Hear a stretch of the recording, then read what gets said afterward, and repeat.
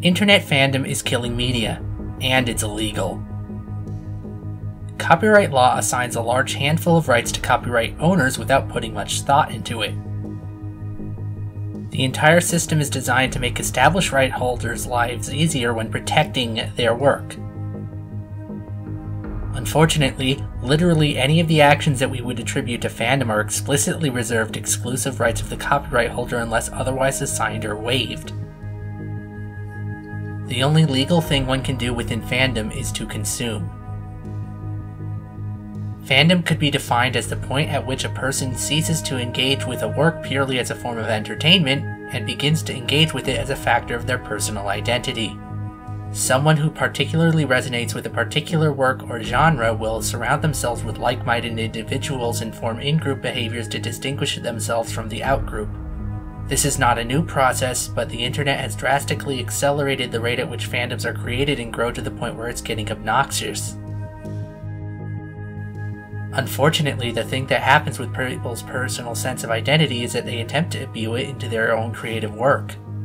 And when they have incorporated copyrighted work into their own identity, they will inevitably create their own derivative work based on that work and how they interpret it. The sad part is, for the most part, such things are copyright infringement.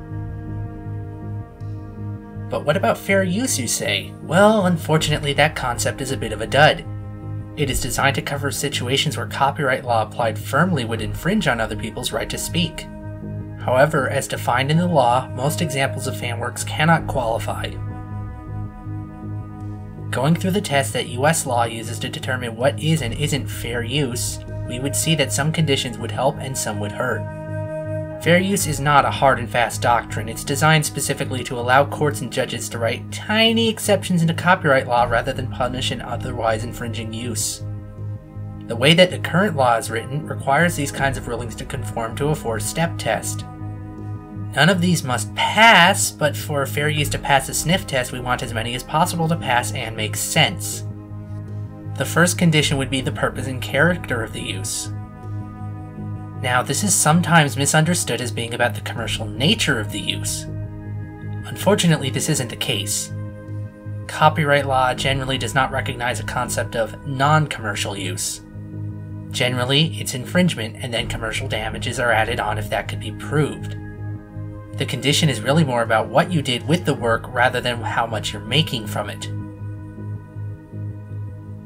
The second condition, the nature of the copyrighted work, won't apply here. Fictional works are entitled to more copyright protection than non fictional works, or works made up of fact. We will not prevail on this condition alone. The third condition, the amount and substantiality of the work, also works against us. Fandom does not use a little bit of the work, but entire facets of it. We cannot argue that we are only taking bits and pieces here. Finally, the fourth condition, the effect upon the value of the work, is the thing that kills fair use for fan works. Quite simply, courts must consider how an unlicensed infringing fan work might harm the market for licensed goods. We lose this condition simply on the fact that so many franchises rely on licensing revenue and derivative works to make a profit. In fact, many series, especially animation designed for the adult Japanese market, is produced as a loss leader for licensed character goods and or sequels. For a judge to rule a fan work as fair use, it requires the work in question prevail entirely on the merits of that first claim, the nature of the use. Unfortunately, very little of what fans would consider essential to their fandom is going to succeed there. Not many fan works rise above the nature of existing licensed derivative works to become their own thing that a court would recognize as worthy of protection. So, if fandom is illegal, why does it still exist? Well, in the US at least, fighting against it has largely been considered bad form and bad PR. The crown jewel of marketing is to embed your product into people's identity. Look at the console wars. Sony and Microsoft have brainwashed every 12 year old in America into thinking that their choice of identical black box is better than the other competing but identical black box. Suing your own fans for being fans is such a bad PR move that even the RIAA stopped doing it. Copyright affords the owner of a work the ability to specify by fiat the rules by which fandom take place. If they feel like some aspect of fandom is harmful, then the copyright owner may use the law to stop it. A good example of this is Nintendo. They clearly do want social media to share fan works based on their content, but only certain kinds. Fan art is okay, elaborate fan theories are also okay, but tool assisted speedruns of 20 year old games just have to go. In reality, all three exist only by Nintendo's good graces, but it's the latter that they prohibit because it involves playing their games on unauthorized hardware.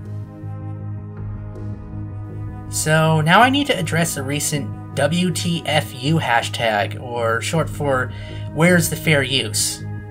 The reality is a large portion of what is considered fair use on the internet isn't.